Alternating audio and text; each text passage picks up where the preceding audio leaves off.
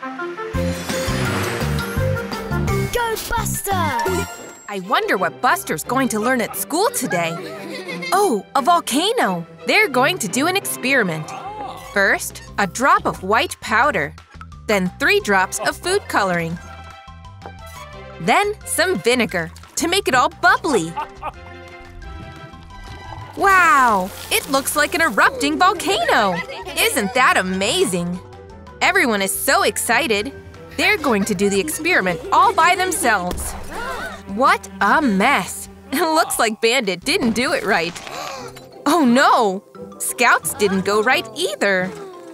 Maybe Buster? Buster has made just as much mess as the others. Can Ash get it right? Buster is going to check. Ash is still putting ingredients in. Whoa! It worked! Nice work, Ash!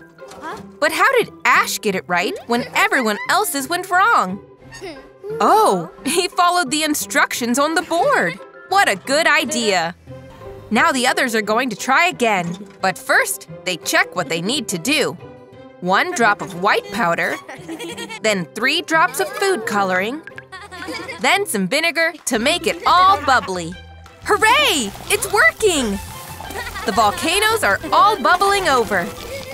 It's amazing what you can do when you follow the instructions.